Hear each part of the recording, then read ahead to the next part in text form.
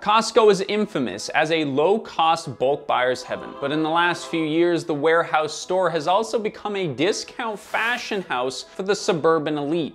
Why does Costco sell clothing, you might ask? And how are they actually selling more clothes than huge retailers that are considered way more fashionable? That's a great freaking question.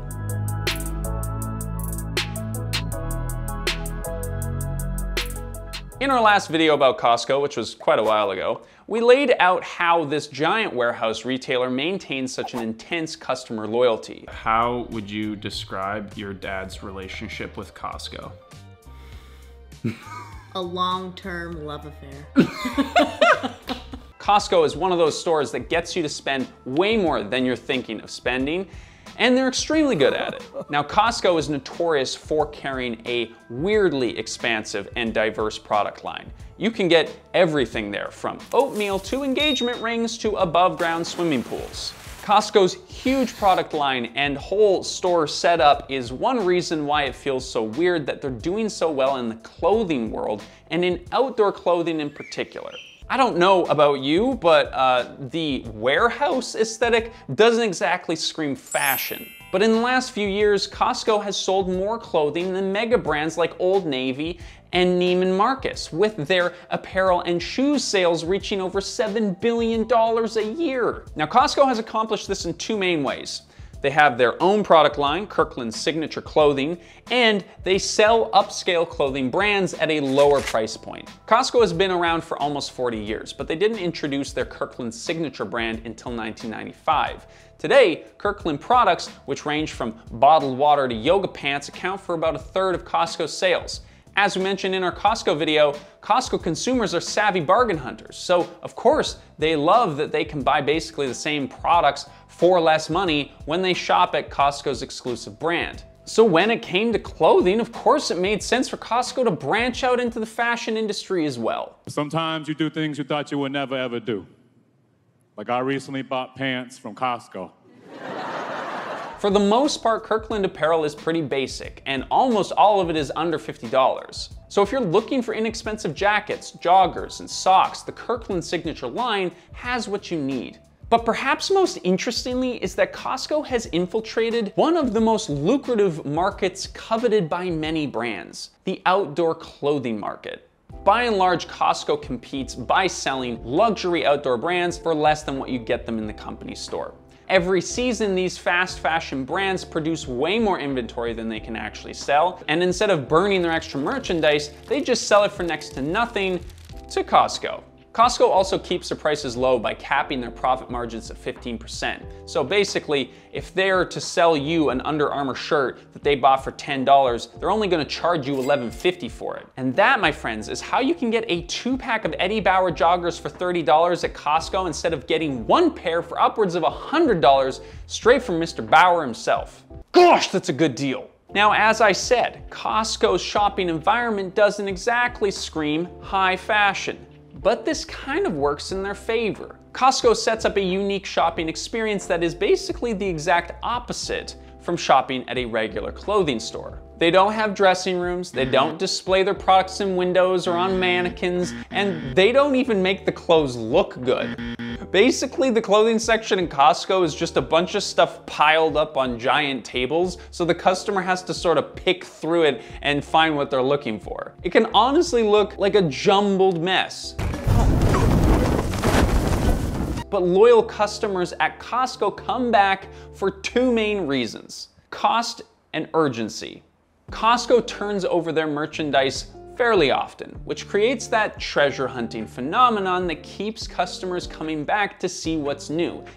The Dutchman's treasure! Wow! They create this sense of urgency because once a product is gone, it's gone and you've missed out on maybe a really good deal. But the only way that any of this works is because of Costco's legendary return policy. The fact that you can just bring anything back, no questions asked, makes it safer for customers to buy clothes without trying it on. And if the shirt was $4 in the first place, you're probably not going to be too fussed that there isn't a change room nearby. Now, of course, this shopping experience appeals specifically to the Costco customer, who generally fall into an older demographic. You're not going to see a ton of young millennials or Gen Z kids sifting through the piles of clothing at Costco, but you will see their moms or their grandmas. Costco knows that their target demographic doesn't need a fancy shopping experience because they prefer treasure hunting for a good deal.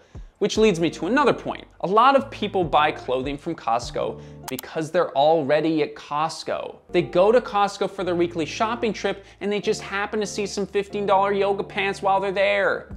Throwing in a pair of knockoff Lululemons in your shopping cart next to your jumbo pack of toilet paper is a completely different shopping experience than actually going to a store or website looking for the brand name product itself. The Costco shopping experience is opposite in every way to shopping directly from a premium clothing brand, like Patagonia, for example. For starters, there's a huge difference in the average price point. As we mentioned in our Patagonia video, the brand gets away with higher prices by pledging to do good by the planet and making good stuff that lasts for generations. Brands like Patagonia and Lululemon attract a very different type of shopper than those who are going to Costco. Getting a good deal isn't their primary focus because they care more about the quality and durability and the impact of their buying choices in some cases. The Costco shopper is an opportunistic shopper who is just in it for the deal. Any kind of certifications about being sustainable or ethically made is maybe just a bonus. This lets Costco get away with being way more secretive about where or how their clothes are made and the quality of the brand brands that they're bringing in.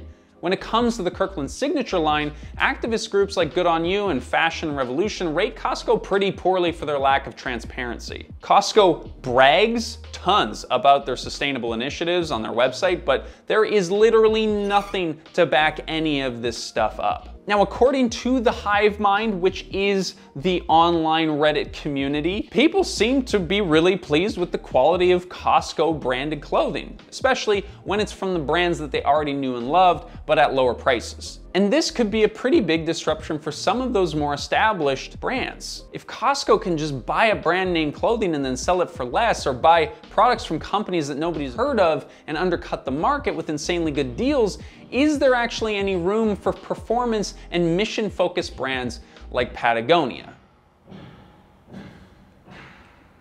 We could, we could do without that big loud noise, Mr. Mister. But the reality still stands that those who want a quality product that will last will continue to do the research to find the product that fits their needs, rather than just tossing it in their cart on their way to get their weekly groceries. Costco is reaching an audience of impulse buyers who probably don't need the top of the line equipment anyway. For many, the $40 puffer jacket from Costco is going to function similarly to the $200 one from Patagonia or North Face. But one point that cannot be argued is that Costco's business model promotes overbuying.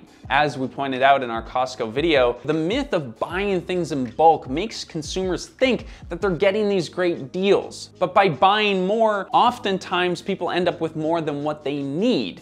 And so a lot of it gets thrown out and there the savings are lost.